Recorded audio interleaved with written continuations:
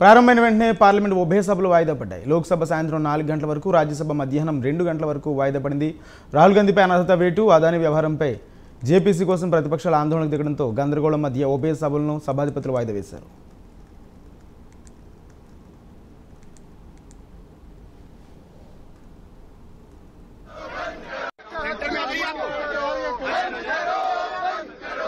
दादागिरी बंद करो बंद करो बंद వాయిదానంతరం యూపీఏ చైర్పర్సన్ సోనియా గాంధీ అధ్యక్షతన కాంగ్రెస్ ఎంపీలంతా సమావేశమయ్యారు. తమ డిమాండ్లు నెరవేరేంత వరకు వెనక్కి తగ్గేది లేదని కాంగ్రెస్ ఎంపీలు తీర్మానించారు. అనంతరం విపక్ష సభ్యులతో కలిసి పార్లమెంట్ ఆవరణలో బ్యానర్లతో ర్యాలీ నిర్వహించారు.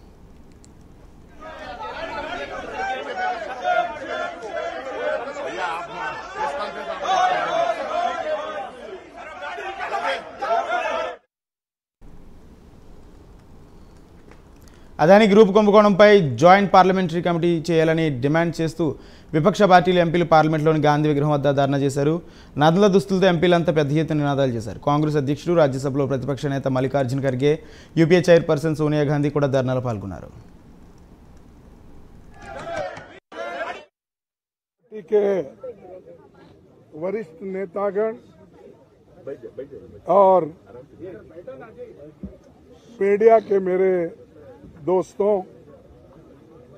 और पार्लियामेंट के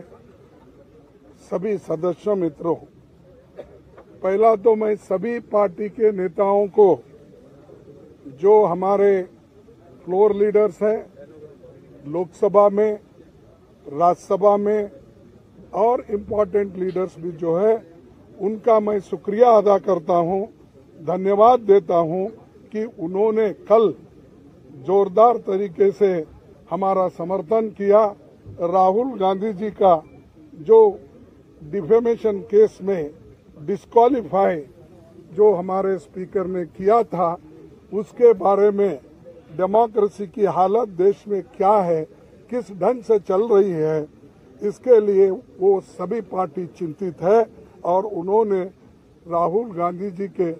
एक, इसके लिए सभी लोग ने डिफेंड करके और उनके बारे में अपनी बात जो बताई, इसलिए मैं उनको पुनः यहाँ पर धन्यवाद देना चाहता हूँ। उनका शुक्रिया।